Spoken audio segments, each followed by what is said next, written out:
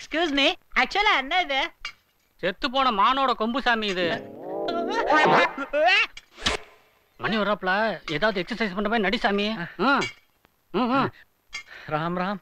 ஹரே ராம். டேய் நிறுத்துறா என்னடா அது பஸ்கிங்கண்ணா என்ன பஸ்க்கு மார்கழி மாசம் பஜனை கோஷ்டில சப்ளா கட்டை அடிக்கிற மாதிரி அடிக்கிற? அப்படி சொல்லப்படா பின்ன சப்ளா கட்டைய பலா கட்டைன்னு சொல்லுவாங்களா? ஆயிரம் தான் இருந்தாலும் நீங்க குரு நான் சிஷ்யன். நீங்க ஒரு தடவை எப்படின்னு சொல்லி பண்ணேன்னா அப்படியே பிடிச்சிட்டு பண்ணிடுவேன். உழைக்கிற புள்ள தொழில் கத்துக்கிற முறை. டேய் போட. மரியாதை தெரியாத பையன். நேத்துக்கு வந்த பையன் எவ்வளவு மரியாதை நடந்துக்கிறான் பாரு. டேய் சொல்லுங்கண்ணா. பஸ்கிங்கிறது குதிங்கால்ல போடுற அளவுக்கு உட்கார்ந்து எந்திரிக்கணும். சரி. அண்ணன் என்ன பாரு நான் செய்யறேன் அது மாதிரி செய் என்ன. பாரு கால ரெண்டையும் நல்லா விரிச்சு வச்சுக்கிட்டு. இப்படி கை ரெண்டையும் மேல தூக்கிற. சொல்லுங்க. வச்சுக்கிட்டீன்னு உட்கார்ற! ஐயோ அம்மா! ஆஹா. ஆஹா. ஆஹா. ஆஹா. ஆஹா. டேய் யார்ரா இது இவன் தான் மான்கம்பு கீழே போட்டான். நாட்டிய பள்ளியை துவக்க வரும் நாயகனே நாட்டிய பள்ளியை துவக்க வரும் நாயகனே நாட்டிய பள்ளியை துவக்க வரும் நாயகனே நாட்டிய பள்ளியை துவக்க வரும் நாயகனே நாட்டிய பள்ளியை துவக்க வரும் நாயகனே குழந்தைகள்லாம் சூப்பரா இருக்கும் போல இருக்குதா நமக்கு டீச்சர் தான் எனக்கு பிடிச்சி புவர் டேஸ்ட் பா.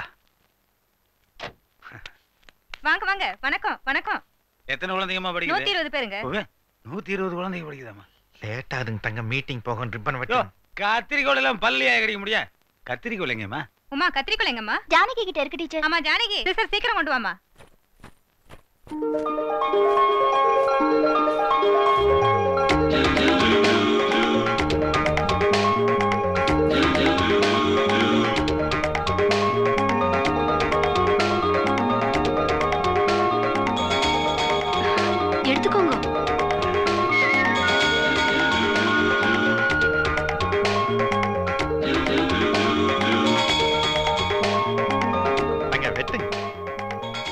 அட வெட்டுங்க.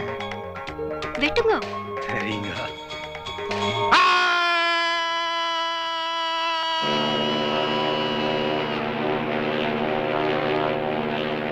எப்படி நம்ம கப்பல?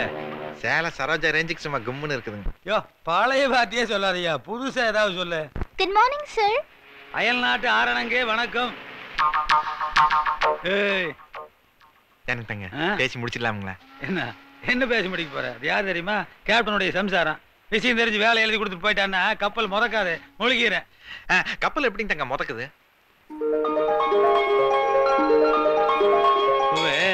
நாட்டுல மிதக்கிற விஷயங்கள் எவ்வளவோ இருக்கு. அதையெல்லாம் விட்டு போட்டு கப்பல் எப்படி முதக்குது கவர்மெண்ட் எப்படி முதக்குதுன்னு கேட்டு. கத்திரிக்கோள் பார்ட்டி பத்தி என்ன நினைக்கிறேன்? ஐயோ தங்க அது மீனாட்சி சுந்தர் சாஸ்திரியோட பொண்ணுங்க. தெரியும்யா. நான் என்ன இப்ப தள்ளிட்டு வரதுக்காக கேக்குறேன். முறைப்படி தாலி கட்டுறதுக்காக தான் கேக்குறேன். ஒரு கழுத்துக்கு என்னங்க தங்க வயசு? ஏழு கழுத்துக்கு ஏழு ஒன்று ஏழு ஏழு நாற்பது. டேய் நீ எங்க வரேன்னு எனக்கு தெரியுது. ஏன்டா உனக்கு ஏழு எழுத வயசாச்சு உனக்கு எது கல்யாணம்னு கேட்குற இங்க பாரு பூவே அவளோ பெரிய அழகி. ஆ அவங்க அப்பனோ பெரிய அறிவாளி. நானோ பெரிய மந்திரி நான் பண்றதோ பெரிய குல்மாலு. இந்த நாலு சேர்ந்து என்னாக? கும் தலை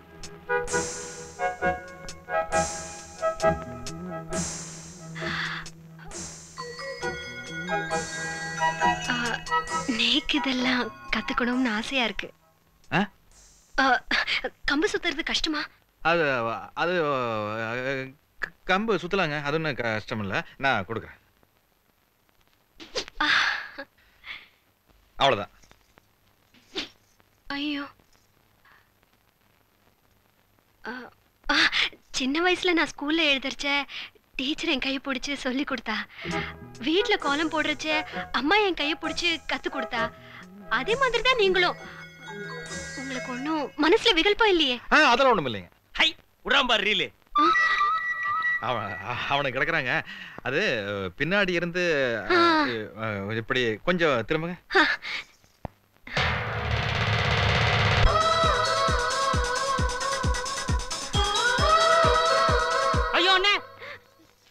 என்னடா? ஆம்பளைகளுக்கெல்லாம் கம்பு சுத்த எடிசன் எப்படி சொல்லி தருவாப்ல? ஏண்டா கம்பகத்துக்கு வந்து எத்தனை நாள் ஆகுது? ரெண்டு மாசம். ஆறு மாசம் வரைக்கும் கம்ப கையில் தொடக்கூடாது.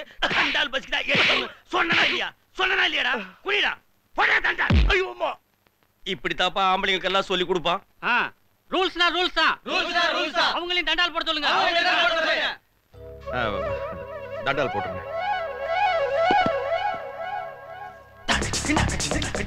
ஆஹா நம்ம ஜிம்மு புண்ணிய பூமி ஆகிருச்சுப்பா. டேய் நீ தண்டால் போட்டு குப்புற விழுந்துன எடிசன் என்ன பண்ணான்? அடி வகுத்துல கைய குத்தி ஹெல்ப் பண்ணாருப்பா. எடிசன் அடி வயித்துல கைய கொடு. ஆமா ரூல்ஸ் தான். ரூல்ஸ் தான் முதல்ல கைய தொட்டான் அப்புறம் அடி வயித்துக்குள்ள கைய விட்டான் அப்புறம் ஏதோ டக்கால்ட்டி பண்ணி நெஞ்ச தொட்டான். இனிமே ஜிம்மு ஜிம்கானா தாண்டா. யக்ஷ கிண்ணர கந்தர்வ சித்த வித்யாதரை சதா. ஸ்தூயமானம் மகாத்மானம் வந்தேகம் கணநாயகம்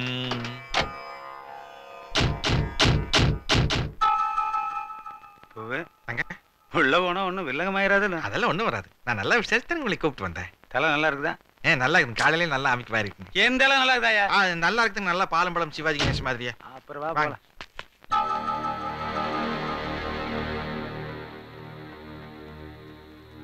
உட்காருங்க சாமி முதல்ல நீங்க உட்காருங்க சாமி. நீங்க உட்கார்ந்துட்டு இருக்கிறீங்களா? டேய் காரியத்துக்கு எடுத்து போட போல இருக்குதா? யதார்த்தமா சொன்னங்க நீ தங்க. யதார்த்தமா பேசினாலே நக்கலா பேசுற மாதிரி தான் இருக்குது மாநாடு கீநாடு டொனேஷன் கேட்க வந்தாளா கேட்கத்தானுங்க வந்தோம். ஆனா டொனேஷன் இல்லைங்க. உங்க பொண்ணை. தங்கம் தானே மந்திரி சபையில இளைய மந்திரிங்க அப்படி ஒன்றும் பெருசா வயசாகலிங்க. பிரச்சனை என்னன்னா இப்போ நீங்க சட்டசபைக்கு போட்டியிட்டு ஜெயிச்சதால எம்எல்ஏ ஆயிருக்கேள். பாராளுமன்றத்துக்கு போட்டியிட்டு ஜெயிச்சிருந்தா எம்பி ஆயிருப்பேள். ஐபிஎஸ் பாஸ் பண்ணியிருந்தா போலீஸ் அதிகாரி ஐஏஎஸ் பாஸ் பண்ணியிருந்தா கலெக்டர். ஆனா எவ்வளவுதான் படிச்சாலும் எந்த பதவிக்கு வந்தாலும் நீங்க ஒரு ஐயராக முடியுமோ? என் பாலிசி கொஞ்சம் ஓல்டு தான் பட் கோல்டு ஆனா நான் கொஞ்சம் போல்டு சாமி பாலிசிங்கிறது என்னங்க? பணம் சம்பாதிக்கிறதுக்கு ஒரு ரூட்டு இப்போ நீங்க ஒரே பாலிசியோட முப்பத்தஞ்சு வருஷமா மேல் கோர்ட்டுக்கும் கீழ் கோர்ட்டுக்கும் நடையா நடந்து சாரி இந்த சைக்கிளை சுத்தி என்னத்தை சம்பாரிச்சீங்க? ஏதோ இந்த வீடு அப்புறம் டீ நகர்ல கடை கட்டி வாடகை கொடுக்குறதா வரும்போது கார்ல பசங்க சொன்னாங்க. ஆனா நான் வந்துங்க நாலு வருஷமா தான் எனக்கு மந்திரி ஆகிறேன் என்னோட சொத்தோட மதிப்பு ராத்திரி கணக்கு பார்க்கும்போது அறுபத்தொன்பது கோடி. இன்னைக்கு ராத்திரி கணக்கு பார்த்தா தான் மீறி தெரியும். அதனால நீங்க உங்க பாலிசி மாத்திட்டு அப்படியே தட்டை மாத்திட்டீங்கன்னா அட்டே இவர் தான் இப்படி விவரம் எல்லாம் உட்காந்துருக்காருன்னா நீங்களும் அப்படியே நின்றுது அப்படியே. அப்படி பொடி நடைய நடந்து வந்து தட்டை எடுத்துட்டு போங்க. மல்லியா தட்டை எடுத்து கொடுங்கண்ணே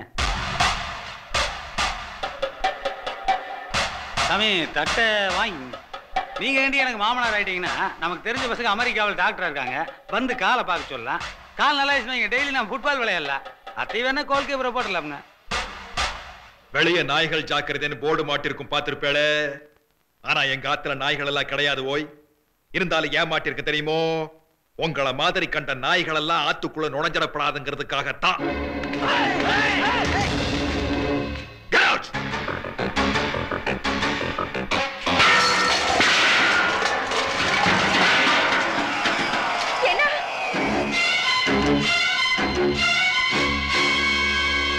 ஏய் அடிச்சு பல்லு கிரால பேத்து போடுவேன். என்னடா நினைச்சிட்டு இருக்க? ஏதோ பொண்ணை பார்த்தவனாச்சே போனா போதுன்னு பார்த்தா நாயை பேயன்னு பேசிட்டு இருக்கிறேன். ஏத்தி மிதிச்சுனா குடல் கடல வெளியில வந்துட ஆளுகளை பாரு.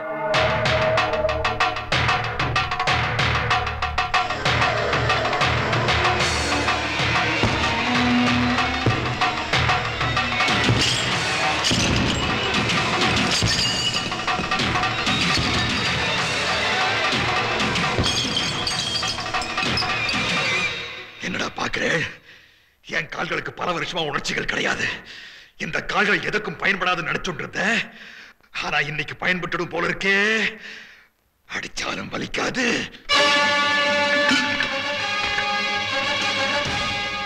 வெட்டிண்டாலும் வலிக்காது. இந்த கத்தியால நானே என் காலை வெட்டுண்டோ? நீங்க தான் வெட்டிடே அதனால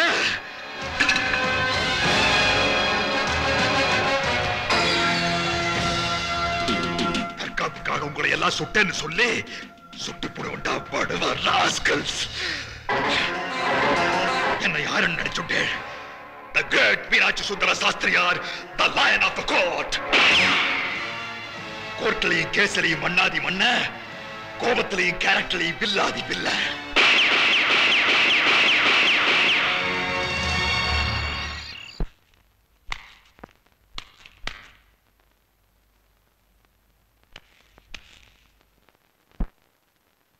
இப்போ அவங்க அப்பா சாஸ்திரி இருக்கானே அவன் ஓல்டு பழைய பஞ்சாங்கம். ஆனா அவன் பொண்ணு இருக்குதே அது நியூ மாடர்ன் கேளு இப்போ ஒரு மந்திரி கல்யாணம் பண்ணிட்டு கொடி கட்டின கார்ல போய் பெரிய பெரிய ஆபீசர்ல கதவை திறந்து விட்டு நகை கடைக்கும் ஜவுளி கடைக்கும் போனா எப்படி இருக்கும்? அப்படின்னு யோசிச்சு பாப்பல நீ ஏன் பர்சனலா அவளை பார்த்து பேசினீன்னா சரி பண்ணி போடலாம். ஆனா நீ பேசுறதுல தான் இருக்க. நேக்கா பேசணும்? ராமருக்கா ஆஞ்சநேயர் சீத்தை கிட்ட தூது போன ராமர் என்ன பண்ணாருங்க? என்ன பண்ணாரு? மோதிரத்தை கொடுத்துட்டாருலங்க இந்த. அது என்ன காலம்? இது என்ன காலம்ங்க நீங்க இந்த செயினை கொடுத்துட்டீங்கன்னா கொஞ்சம் நல்லா கெத்தா இருக்கும். செயின் அண்ணியா செயினு நீ மட்டும் அவளை சரி பண்ணு. திருச்சியில பாதி ஒன்பதுல எழுதி வைக்கிறேன். திருச்சி எப்படிங்க தாங்க? நீங்க எனக்கு எழுதி வைக்க முடியும்? போன வாரம் வாங்கிட்டேன்யா ஐயோ. இத பாரு பூவே நான் அந்தமானுக்கு போயிட்டு அடுத்த மாசம் திரும்பி வரும்போது ஏர்போர்ட் கவர்மெண்ட் கார் வரக்கூடாது. எங்க மாமனார் கார் தான் வரணும். மாமனாரே வருவாருங்க நீங்க அவர் மடியில உட்காந்துட்டாங்க சக்கர வண்டியிலேயே வீட்டுக்கு போலாம். Who is a nice boy இவன்கிட்ட எல்லாம் இப்படி பிடுங்கினாத்தான் உண்டு. இவன் என்ன உழைச்சா சம்பாதிச்சா ஊழல் பண்ணி தான் சம்பாதிச்சா இவனுக்கு அளவுக்கு அவளை போய் பொண்ணு பார்க்குறான் பாரு.